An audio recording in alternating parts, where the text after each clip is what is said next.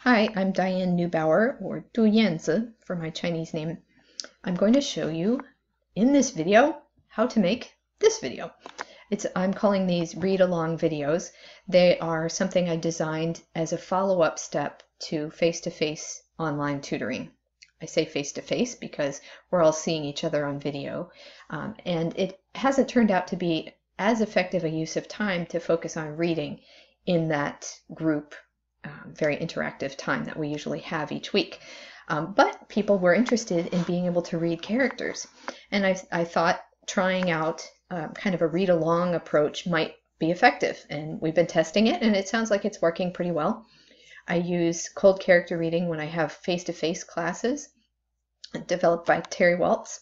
Um, I love that because it does not require memorizing characters, um, but through lots and lots of exposure to comprehensible reading material, um, the students begin to recognize those characters in new contexts through the process of seeing it and hearing it connected to the, the language that they already really know well by sound. So they know the sound and the meaning. So I'll show some of the features of the YouTube video play, but before I get into that, first we would want to have some reading material. So I here have just a Google Docs open. Uh, my first step was to write it and then edit it a little bit. I put spaces between the words. Chinese doesn't usually, but it helps to give beginners some visual context for where the words start and stop. So um, you notice right here I have a hit the enter key. So, and here's another one. So every place I've hit the enter key is the end of a slide in Qwikslides. So we'll see how that looks. Here's their sample. Um, to get to the editing window, it's right there, little tiny pencil or pen to save it so that you can have a unique URL that you can return to and edit again in the future if you want. That's that. Uh, this part selects the color of the background and then the other things, the features here and the fonts really don't apply to me because I'm not using an alphabet. So I get rid of the sample message and I paste in the reading that I've prepared in advance and I click submit and that's it. If I had used PowerPoint to do all of that and copy and paste in each line of the text, it would have taken a lot more time. The other thing I like about this is that the font is usually nice and big they vary it a little bit. So each slide automatically gives you sometimes a little different font size and different lines. That's all automatic in Qwikslides. One small tip.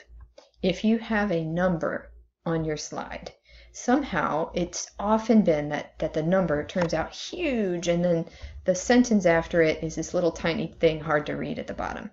What I found to correct that is either put the number at the end of the sentence if you need that number there, like it's line number three and you for some reason want to show that, or don't put any space between the number and the first word in the sentence, and then it spaces it out okay. So we've got our little Qwikslides thing. Then I would come over to Screencast-O-Matic.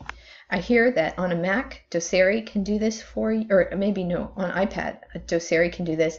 On a Mac, people are using other things. Um, I've been using Screencast-O-Matic because I'm used to it. I like it. Um, it's cheap. It's free to make videos up to 15 minutes in length. Um, I've bought a subscription for $15 per year, um, and then I can have unlimited recording time and some space to store recordings on their site. Um, and in fact, I'm going to share the link to if you think you want to get a copy of this program, I can get a little kickback by having you use my link. Um, so it's it's been fairly easy. I click the start recorder. I've already got it started because I'm making a video right now. Uh, but you'd see a little window. You can select to record the screen, to record what's on the webcam, or both simultaneously. So after that has been made, you can go over and upload it to YouTube. This is one I uploaded last week. So um, a couple things to note in here. There are a lot of features in YouTube videos. I tend to keep it simple. Um, but there is one thing that's well worth noticing. And that is if you decide to do this and you don't want everybody in the world to access this video, there's a few options. So you can make it unlisted. That would mean people can can access the video as long as they know the link. They won't be able to search for it in YouTube. Public would allow you both to search for it, and they might even list it as a recommendation for people who are looking up things that are similar. Um, private means that no one can access that video except those that you have sent specific invitations to. Only through their email address then can they access it. Um, so occasionally it's been a problem where if I set it at private, someone doesn't have their email address connected to their YouTube channel. Um, so you want to check and make sure that it works. Um, this one is unlisted, so nothing particularly proprietary in here. I made the reading, so it's all good to go. Um, and then um, the other thing to note is you may think, well, I have to get a YouTube channel. How do you do that? If you ever have watched a YouTube video, I think they require you to use an email address. So that's what I have up here. Um, so I am in what they call the Creator Studio. So, and then I went over here to upload. So let's imagine we've got all that uploaded. How does someone use this read-along video? Let's play one. So I have it uh, unmuted, so the sound is on, and I'm going to play it at a slower speed than my natural pace. When I'm making the reading video, I try to speak a little slower than natural speed, um, but I haven't been too concerned about being extremely slow because there's all these nice speed features within YouTube. Let's say somebody is really great at Chinese reading and they want, maybe they've listened to it you know, three months ago, and then they went back last week and they're thinking, let's see if I can do it at a real fast speed. They could. Um, but the first time through, I would say 0.5 or 0.75. The problem with 0.25 is that the sound is off at that point. So you won't hear any of the audio at all. 0.5 is pretty slow. 0.75 is pretty pretty good pace, I think, for, for a beginner who's following along. 我要跟你们说，我最喜欢的音乐是什么？Yeah.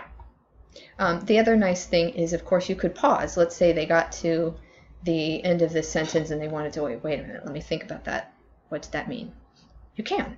Let's say you want to go back. Click the left arrow. It went back five seconds. And because Screencast-O-Matic has this nice feature where it shows you where the cursor is very obviously. You know when you got to the beginning of the slide. So you can play it again. Let's say I'm going to mute it though. I want to see if I can read along with it. And here's where, when it's muted, you might want it at 0.25 speed so that you can really bring it slower and feel like you're reading at a comfortable pace. So uh, those are the basic features and I think I've hit most of the reasons why I'm making these and how they work. Please post any comments if you have questions. Thanks!